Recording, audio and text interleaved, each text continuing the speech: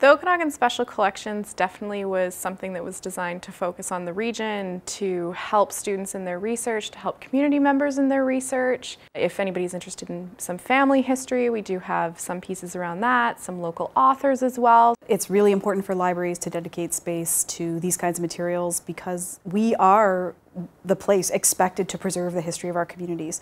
We are expected to make sure that the materials that our community members leave for us or donate to us are available to the public, and it's important for the students and for community members to have access to those materials.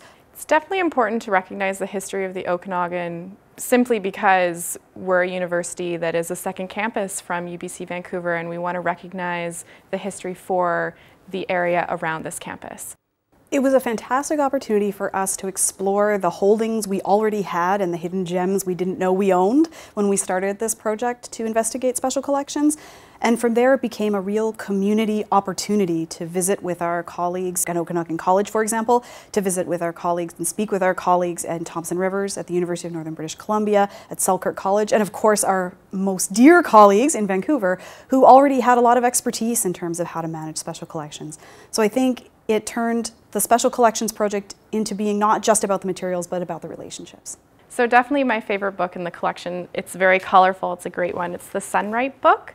So it's the history of the Sun-Rype organization that was founded in Kelowna and definitely highlights the fruit packing industry overall. And it was also written by one of our donors, Sharon Simpson. So it was a very good addition to our special collections. It would be so hard to decide on a favorite item that's in the collection because it has so many fantastic parts. We have a beautiful collection of Greenboathouse Press materials, which are local. We have a fantastic collection of materials that were owned by Sveva Caetani. I guess I would suggest that the most valuable part of the collection is the fact that it exists and encourage everyone to come and visit us.